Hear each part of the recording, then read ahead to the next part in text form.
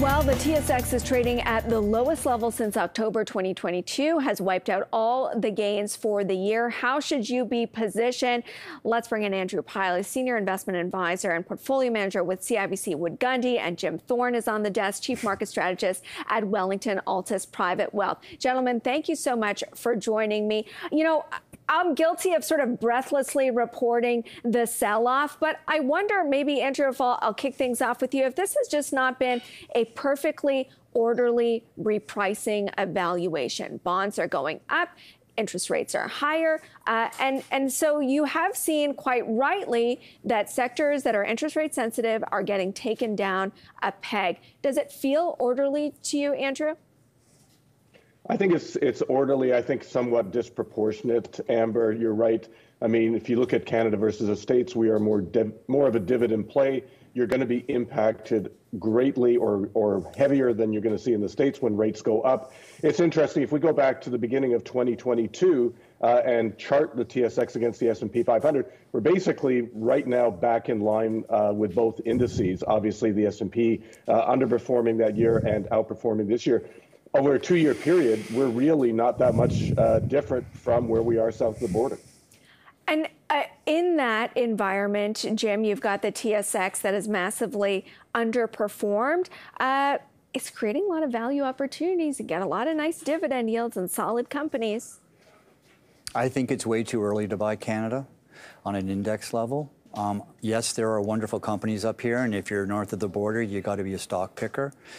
But you know what I do is is now I just don't think anybody who says they have an edge, that the Bank of Canada knows what they're doing, and anybody has an edge in terms of the, has the Bank of Canada tightened too much in a highly debt uh, economy. Um, is is basically being disingenuous. We don't have an edge. So if I'm a fiduciary, and so we've been underweight Canada all year long, and my in- inbound calls are, do we buy, do we buy, do we buy? And I basically say, wait. And here's the point, right?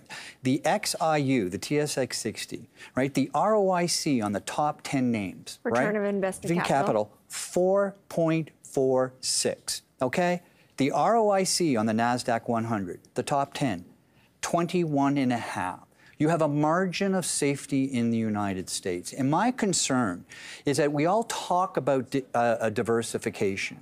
And I say this in terms when I talk to folks in Calgary, right?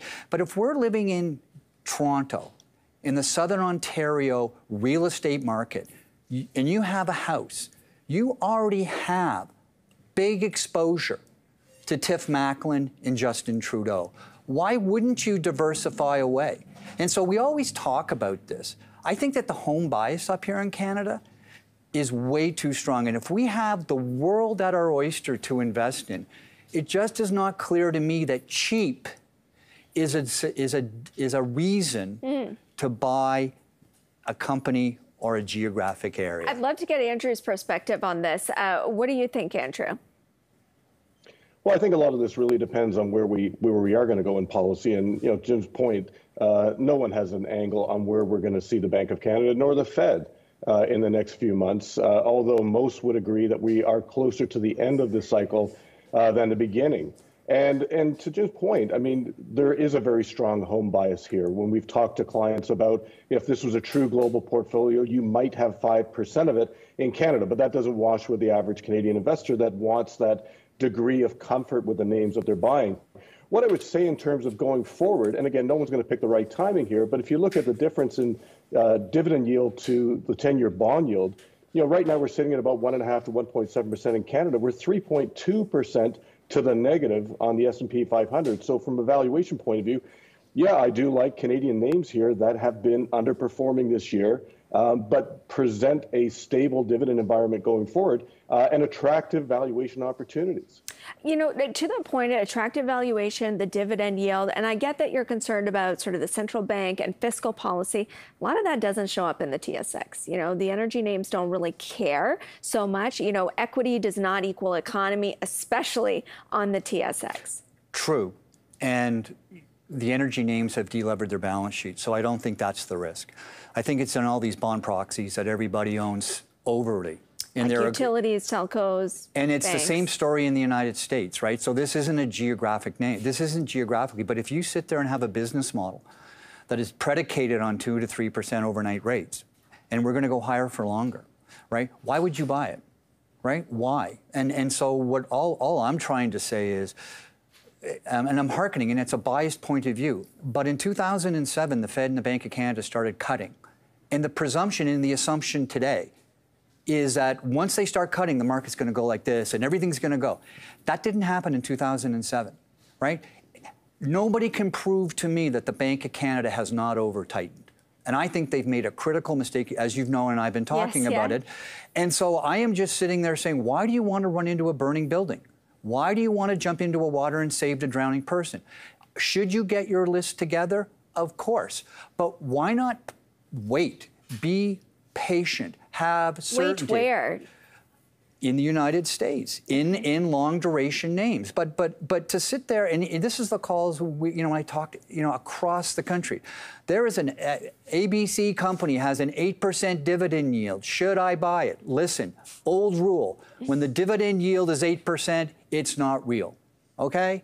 And so everybody up here is wanting to run into the building and using valuation. Everybody up Not here. Not real. Why? Because it's uh, it it could be cut because they're like an Enbridge and TransCanada. They're they're well then, but then what you do is you wait for the dividend yield to cut. You buy the rate. You buy you buy the dividend cut. Yeah. If you want to buy a pipeline.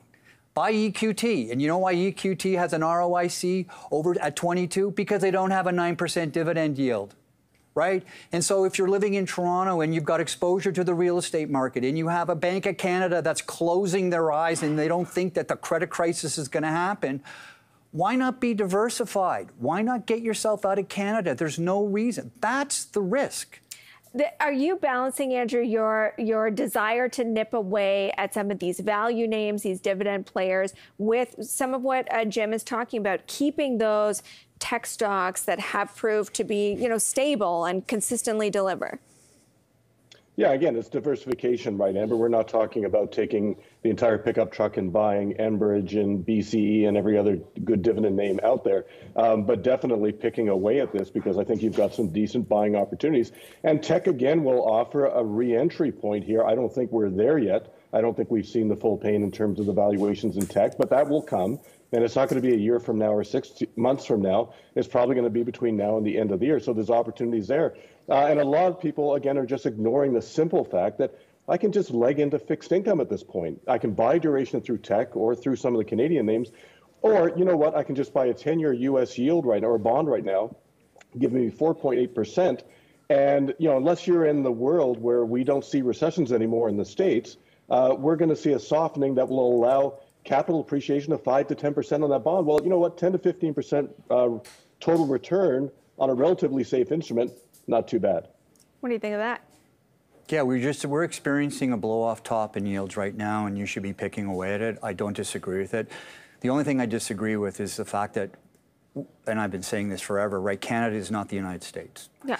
And so and so we I th- am on the record saying soft landing in the United States, hard landing in Canada.